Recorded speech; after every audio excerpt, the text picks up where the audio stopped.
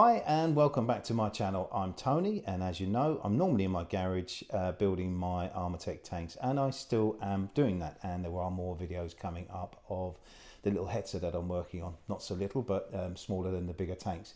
Um, but this is something a bit different. Um, I thought I'd do this um, because I thought I'm a massive Star Wars fan um, and in the little trailer or little teaser I left off in my last video I explained what this was but here it is. The box is huge. It's arrived and I'm buzzing about unboxing this. So this inside this box is a huge, and I mean huge, 1 to 6 scale Luke Skywalker snowspeeder, which was seen in the Empire Strikes Back film. And I haven't looked at it yet. Um, I've uh, had to open the box because I'm not allowed uh, Stanley knives inside the house, and my wife has very kindly allowed me to film this inside the house because this is just too big to open up in my garage. So in a moment I am going to unbox this, but I just want to give you a bit of background. It's made by a company called Jazz Inc. They're based in the Netherlands and they are an incredible company. They do movie grade models, one to six scale, and I think they even do slightly bigger ones, one to four and possibly even half scale. Worth checking them out if you're into Star Wars or models of any uh, real detail. Check them out online, Jazz Inc um, spelled J-A-Z-Z-I-N-C. I will give you a link uh, if you ask me in the comments. I'll send you a link for the for their website. Really friendly company. You're dealing with the person that designs it directly. You're dealing with the person that owns the company. You're not dealing with a massive organisation. So you're actually speaking to the person that makes these things from scratch from the very early stage of design. So that's really really cool. So in a moment, I will unbox this and we'll go into the detail and why this is so amazing. But I just have to say, this is not going to be mine. Um, this is actually by uh, for my two sons who own a company called NXT Collectibles or Next Wing Collectibles, sorry. Um, and they have sponsored my videos in the past. They're doing an incredible job and offering some amazing prizes of which this is going to be one of them. So next year, at some point, once this is unboxed, I'm going to put it all back together, and this is going to be raffled off alongside uh, Luke Skywalker Snowspeeder Hot Toy in a raffle that you can win for a very, very, very small amount of money. So that'll be next year. So just want to give them a shout out as well. So before I open this, I want to give you an idea of the size of the box it arrives in. So this box is something like it's just 37 and a half inches just 37 and a half inches which is in metric is 950 and that's square 950 square by 37 and a half inches um, and it's just over a foot tall it's about 13 inches or 340 mil tall so this is a big old box but it arrives safely um, I've had a quick peek inside the box just to make sure everything looks right and it feels right I haven't unboxed it yet Oh, I had a really good look at it yet, so I'll be doing that very shortly. Um, and in a moment, I will reposition the camera and we'll get stuck into this incredible model. Right, so just before I do that, um, just got on my iPad here um, some of the models that these guys make at Jazz Inc. So um, this is something that they're currently working on, which is the original 1960s era Batmobile. Really, really cool. So definitely check them out. Um, and uh, you, you will not be disappointed. So let's get started. Obviously, massive box, um, huge, huge big old cardboard flaps. Um, I'm going to be trying not to get in the way of this. As I said, I've already cut the tape and uh, opened it just to double check there was no there was no horrors from the uh, shipping process um, and nothing obvious. So now we're presented with this huge big polystyrene lid and if we just lift that up, excuse me, and move that, just put that to one side for now.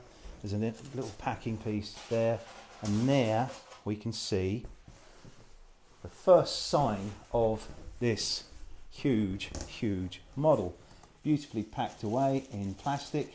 I'm hoping that this is this is going to be a two-man job to get this out, so I will um, call in reinforcements very soon. But before we do that, let's just see what else we've got in the box.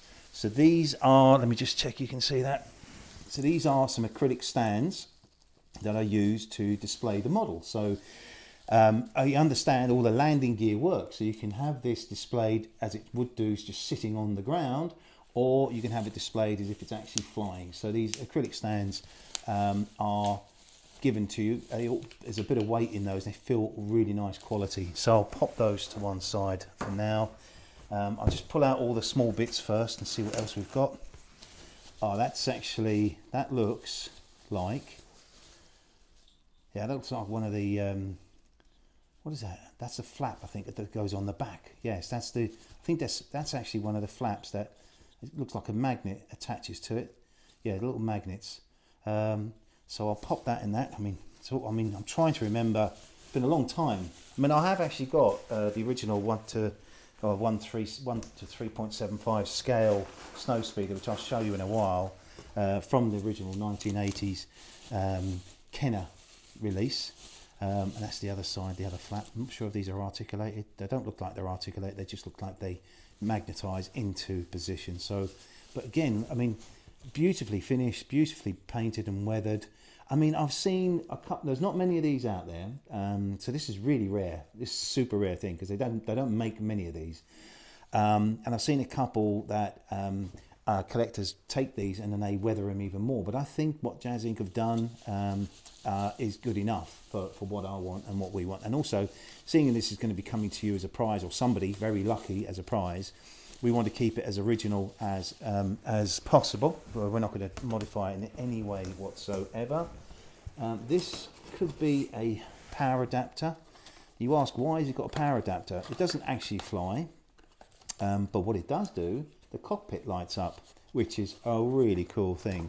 So that's nicely packed in here, um, and that's obviously going to have to be converted from European to um, UK power, which is uh, something I might ask my wife to help me with. I don't know if I've got one of those in the house, but that's the power adapter, and that is required because the cockpit lights up, which is a super cool thing, right? Um, I have no idea what's in this box, but we'll have a look. Oh, that's the lead, obviously, that goes from the power adapter to plug the lights in. So that's there. Can't wait to see what that looks like on. I'll see if I can We'll um, probably wait till it gets a little bit darker and do that so we can see it in its full glory. Um, and then we have various different markings that go on the and various different fixings that go onto the snow speeder. Again, we will not be mark we not we won't we won't be installing those because this has to be um, given away as a prize in its as new condition. Um, what have we got in here? So uh, something fairly chunky and fairly weighty. These feel like they're resin built or resin. I mean, that's just beautiful. I think that might be for the guns. I think that might be for the laser guns. That. I don't know if you can see that, but there's two of those. Um, and we will put those on. Um, so we just pop those out of the way for now. I mean, I, oh, this is huge. This is huge. You're going to want to make sure that you've got the space uh, if you're gonna if you're gonna head and buy one, that, but these are no longer available. They're no longer available. Um, so it's something that you're going to have to uh, maybe pick up on the second-hand market, um, but uh, or look out for a rerun if they do do them again. If this is something that oh this is the oh right this is the harpoon gun I think this could be the or the laser gun on the back of the snowspeeder. Anybody's ever watched the Star Wars film, you remember that sits on the back of this. That's beautifully made, lovely weathered, very recognisable because I do a lot of that myself on the tanks. Um, love the fact that it's actually, is it articulated? Let's have a look, has it got? No, no articulation at this yet, and we have yet to discover all the rest of the components and beautiful parts of this amazing model. So I think that's all the loose parts. It is indeed. Now I'm going to come off camera go and find a volunteer uh, to help me get this incredible model out of its packaging and I'll see you soon. Right, that did definitely take two people to get it out of the box. Um, and there's a few things that we need to add on to the snow speeder, but I don't know if you can begin to get a feel for the scale of this incredible model. Um, but it's it is huge um, and it's tricky to work with on your own. So if you've got one of these, or if you're going to go into the raffle and you really and you really win this, uh, don't unpack this on your own. So it, basically, you just have to take the bag off. This is pretty much as it comes, um, and there's some display rods underneath which need to be bolted in underneath. So I've done that. Really straightforward. The instructions are there how to do that. There's just three simple bolts that bolt into the undercarriage. The um, I will go into more detail in a moment, just giving you an overview. And the only things that need to be added on is the end of the uh, the blasters, which I'll try not to block the camera too much. They just simply um, slide into place, and I believe that this is, this arrangement here is should be on the inside. So just holding that and just popping that, just like that. I mean, again, this is just a static model, and, and this is only something that, you know, if you're a Star Wars um, fan, it's a must have, I think, because it's so beautifully made and so wonderfully detailed. Just so that just goes on like that. Um, and then the only other thing that needs to go on is the, and I'll just rotate this around, just very gently, is the harpoon gun.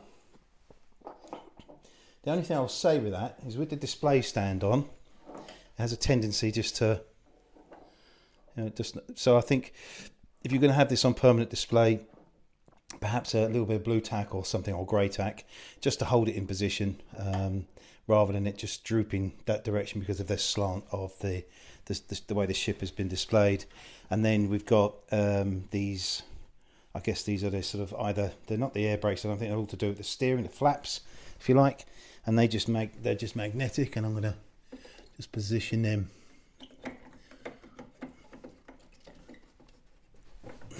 excuse me just.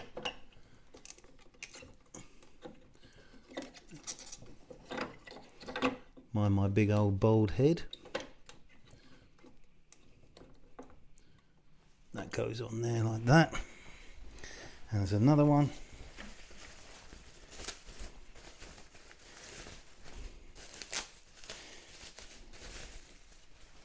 I mean, if you have a, if you've got a Star Wars collection, or uh, are looking to try and get into a Star Wars collection, this would be just the centerpiece of everything, wouldn't it?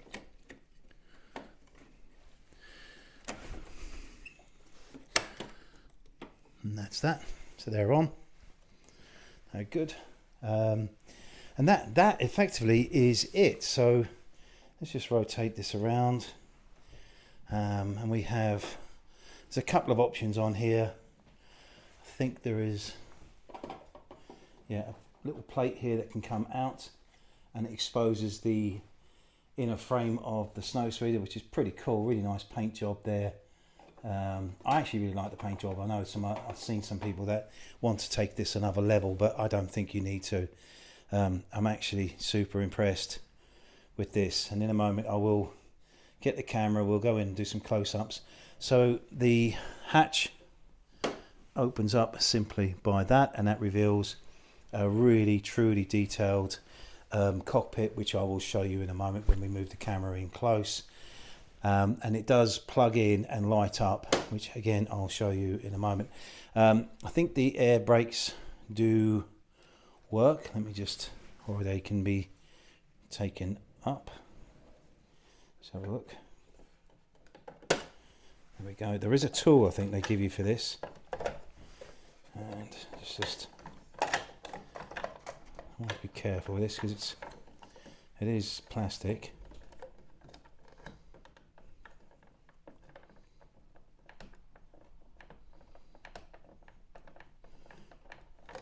Not really working that well, so I don't want to force that. I'll have a look at that in a moment uh, when we you know when we got this in a better position. But just to give you an idea of the scale, I have got an original Kenner snow speeder, 1980 Kenner snow speeder, and that's it. Let me just move this around, and that is it. It's a graded one. It's part of my own collection. I don't know if you can see that in the camera. I think you can. Um, and that gives you hopefully an idea of the scale of this thing. It's huge, absolutely huge. So yeah, this is look what it is what it is. It's a static model. Um, I've got a I've actually got other Star Wars toys and I've got a rotunda that I use to display those. Um, this if this was mine, um, I would have this on a you know completely. I would I'd definitely have this as a central piece of my display I think it's absolutely stunning. It's just the fact that the detailing on it. And what I'll do in a moment, I'll just uh, we'll get Luke and we'll see if we can sit him in there and if he fits. Hopefully he does. Um, and then um, we'll get the camera in and we'll go through some other other sort of details of uh, this incredible, beautifully detailed one to six scale snow speeder. Right, so a little bit closer up, and I managed to get the air brakes open.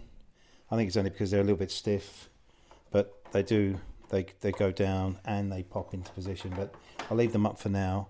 But they're a little bit stiff, and I would just say that just be careful how you operate them. So I'm just going to sort of go through. I mean, look at the date, the detail, the painting on the back of this. Um, I've just put a little bit of uh, paper on that just to stop that rotating. Because um, as I said, this is going to be a prize. It's not going to be. I have to keep it as brand new as possible.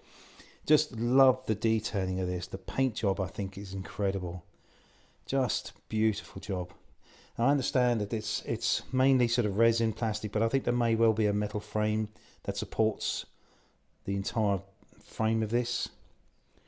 Just looking at the detail is just beautiful. And this is the grey version which is the one that Luke actually flies in Empire Strikes Back. Um, and I just think this is stunning. Um, just to show you is that it? Is that one? Yeah that, so that's the the framework the inner framework of the I think another panel comes on undone as well but I won't I won't do that. I think there is another panel that pops out. But yeah a really nice really nice detail. Um, didn't need to do it but they've done it and I just like that because you can display it with or without. I'm not sure which way around that goes now but I think that's the right way I think. I'll get it right in a minute but anyway yeah.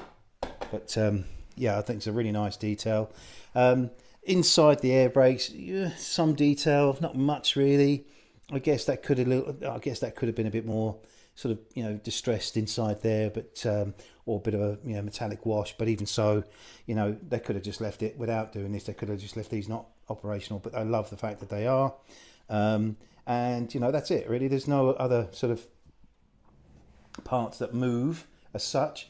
Apart from the uh, landing gear, which I'll show you, um, the, the, the landing gear is in in there, but it's all tucked up. Um, obviously, you can't have that down while you've got it on display. I prefer to have this looking as if it's going to be flying. Then the cockpit opens up with that. Um, and in a moment we'll plug it in and see how the lights work and we'll get Luke inside and we'll go in I'll zoom in a bit more with the camera I love the fact that they've gone and distressed the the lid of the, uh, the canopy itself lots of little details like that that didn't really have to do but I guess on a scale like this it gives you the opportunity to um, you know to do it. So um, I just love, love, love, love this model. Um, now they do give you other transfers and other stickers to put on this to you know to, ch to change it yourself, but I don't. I'm not going to do that obviously because this is going to be going back in its box. Um, and just simply gorgeous. So I'll do is um, I'll um, I'll go and get Luke in a minute. We'll pop him in the cockpit. Well, actually, no, I won't do that yet. I'll I'll get the uh, camera off its hilt and we'll go in and we'll do some zoomed in detailed sort of shots. Beautiful. Right, so camera's off its hilt now, so I just thought I'd come in and show you some of the detail in the cockpit. Beautiful paint job. So lovely. Such attention to detail. You can't get closer to the movie than this and all at my favourite scale, 1 to 6. Now this is without the, the lights on, obviously. So this is obviously the, the harpoon operator here. And this is the main cockpit where Luke, old Lukey boy, sits. And I'm just going to see if I can give you...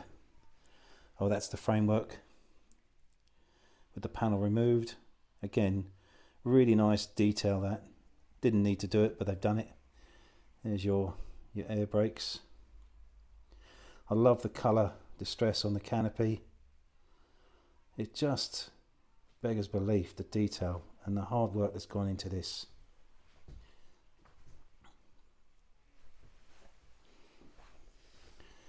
take it round and show you the other side.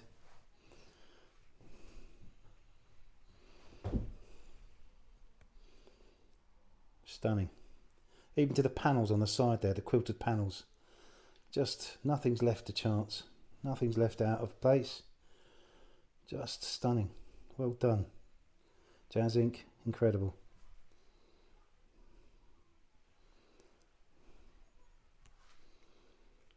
So what we'll do now is we'll I'll get the lights on. We'll get Luke sitting inside it and then we'll take it from there. Just thought I'd show you the underneath as well, sorry. So that's the, the landing gear. Now that will click into place, but obviously I haven't taken the protective bags off these yet, but obviously because the stands are in place. Um, there is the back ones which are also, just bring these around, and the front one, and they'll, once these stands are out of the way, they'll lock into place. Again, lovely detail. And if you are going to display this on its, you know, and it's in its landed position, which is pretty cool because you can show Luke getting in and out. Um, but I actually really like the, uh, the flying part of it. So just, just trying to be careful with that. Everything's a bit stiff. I'll close that in a minute. So yeah, what we'll do now is we'll get um, actually just yeah, it's really nice actually. They've, they've, they've gone to, you know, they've gone to a, a, lot of detail to the underside as well, which considering you really rarely see it from the underside, it's pretty special. So there's Luke sitting in the cockpit, uh, fits incredibly well, perfect, perfect scale, perfect everything. Um, and we're now just going to plug in the lights. So you do get this adapter with it, and, and stupidly I thought I might have to go and seek the help of my wife for this, but she pointed out that it's actually a, a multi-use adapter, so it's just really cleverly done.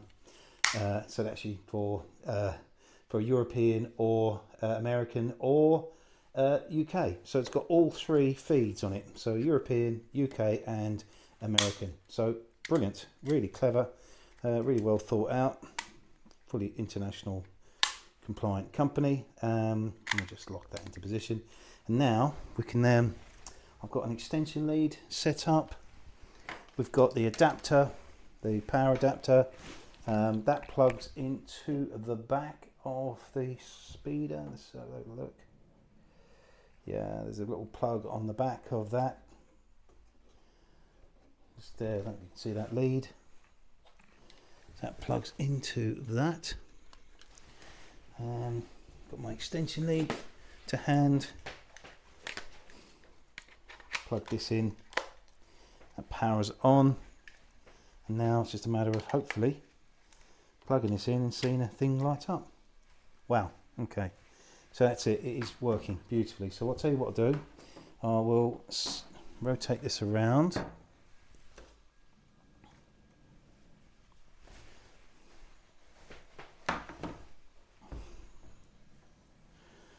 hopefully you can see the, the cockpit lit up I'll zoom in for you.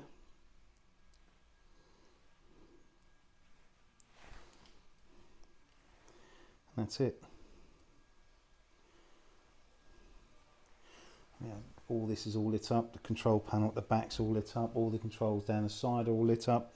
Pretty special. And I think um, if this was displayed at night in the evening, this would look pretty smart. So that's it. All lit up.